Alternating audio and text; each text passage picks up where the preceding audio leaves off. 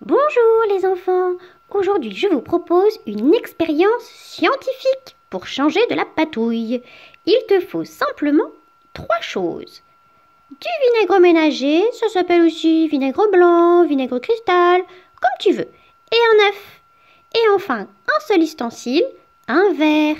Tu vas mettre l'œuf dans le verre, remplir le verre d'eau avec du vinaigre et tu vas voir, au bout de 24 heures, oh là là, c'est long, 24 heures, ça fait toute une journée entière, le tour du cadran.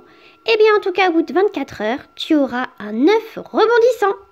Eh oui, maîtresse, Coco, Caca, Minus, tu l'expliques? Oui, les enfants, bonjour.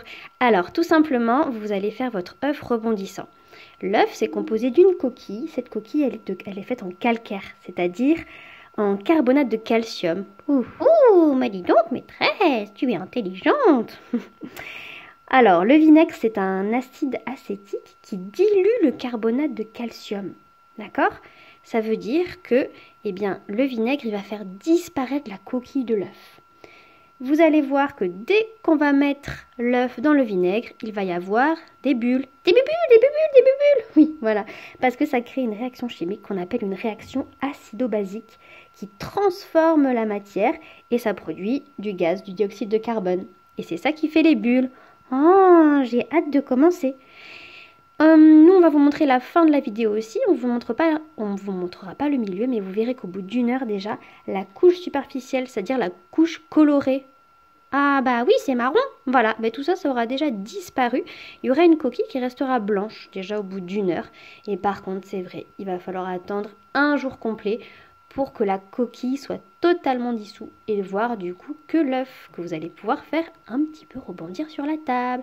Youpi Allez, on y va, on y va, on y va Je pose l'œuf sans le casser.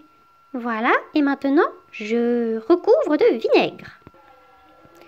Tu me dis stop, maîtresse, hein, parce que c'est un petit peu beaucoup lourd quand même. Oui, encore un petit peu. Biscotte, vas-y, vas-y, vas-y. Encore, il faut que l'œuf soit vraiment, vraiment, vraiment recouvert. Voilà, stop, biscotte. Ah. Oh Et voilà les enfants, regardez bien, vous voyez qu'il y a déjà des bulles qui se forment.